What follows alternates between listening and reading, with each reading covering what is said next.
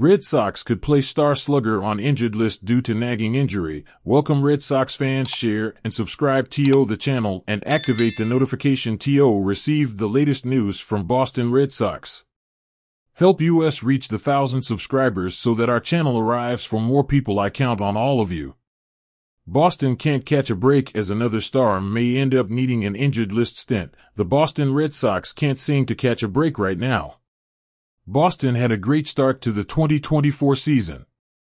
The Red Sox were 7 3 to begin the campaign and looked like a club that could surprise some people. Injuries completely have changed the team's outlook, though. The Red Sox lost starter Lucas Giolito for the campaign before it even began.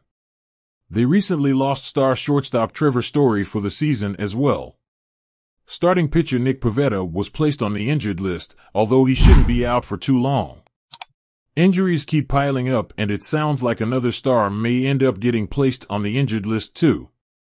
Red Sox star third baseman Rafael Devers has been dealing with a nagging shoulder injury and an injured list stint hasn't been ruled out, according to MassLive.com's Chris Cotillo. Rafael Devers is still battling his shoulder issue, Cotillo said. Does he need to go on IL? Red Sox manager Alex Cora hopefully not. Let's see how it goes. But it's too early to be grinding. That's how I see it. He's too important for us for him to be grinding with his swing and making it worse.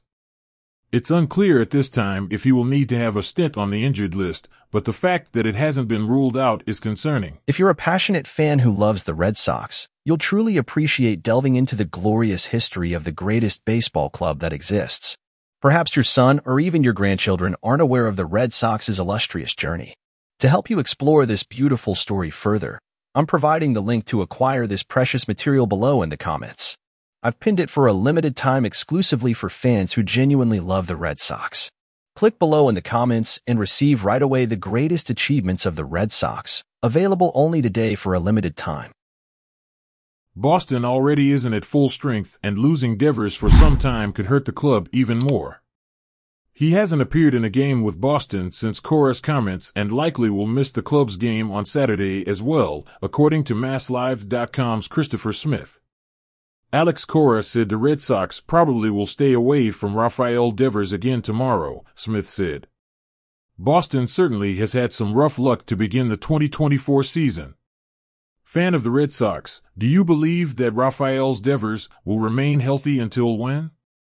Leave your opinion in the comments and leave your like and share and subscribe to the channel and activate the notification to receive the latest news from Boston Red Sox.